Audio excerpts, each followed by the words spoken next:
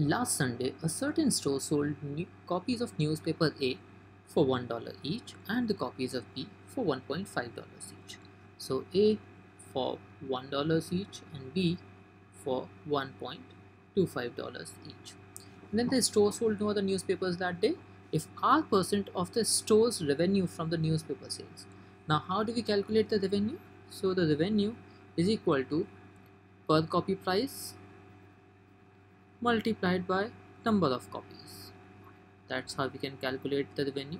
Let's assume that the number of copies of newspaper A sold is A and the number of copies of newspaper B sold is B. So let's assume that these are representing the number of copies sold of respective newspapers. So the revenue from newspaper A will be 1 multiplied by A from B it will be 1.25 multiplied by B if R percent of the store's revenue, so the total revenue will be sum of them. Now the next line, R percent of the store's revenue, which is A plus 1.25B, was from newspaper A. That means R percent of it is equal to A. And if P percent of the newspapers that the store sold, now the total copies, we can also write the total copies sold will be equal to A plus B.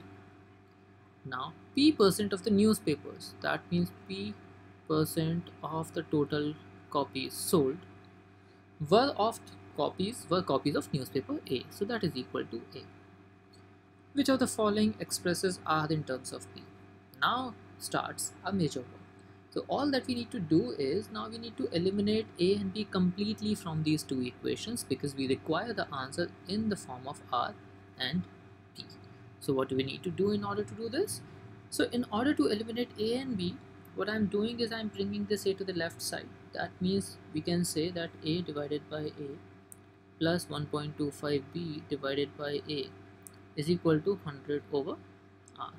Similarly, we are doing the similar calculation here as well. So a divided by a plus b divided by a is equal to 100 over b. Now we need to simplify them once again. So this equation becomes 1 plus 1.25 can be written as 5 over 4.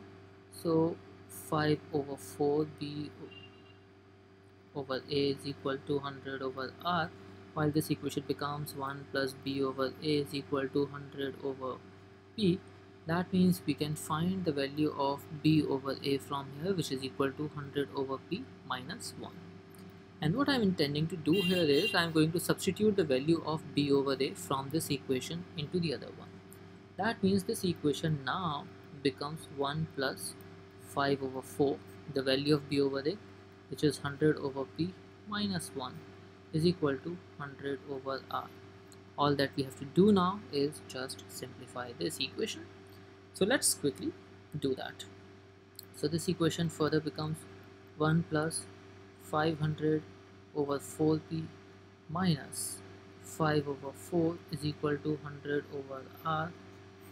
Simplifying this once again 1 minus 5 by 4 becomes 500 over 4p minus 1 over 4 is equal to 100 over r which now we just need to simplify this equation further. So I'm taking the LCM here and the LCM will be 4p the numerator will be 500 minus p equal to 100 over r. Now let's just take r on one side and everything else on the other side.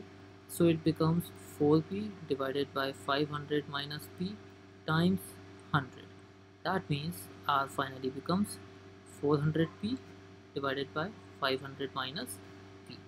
Now let's quickly check which option gives us the same expression.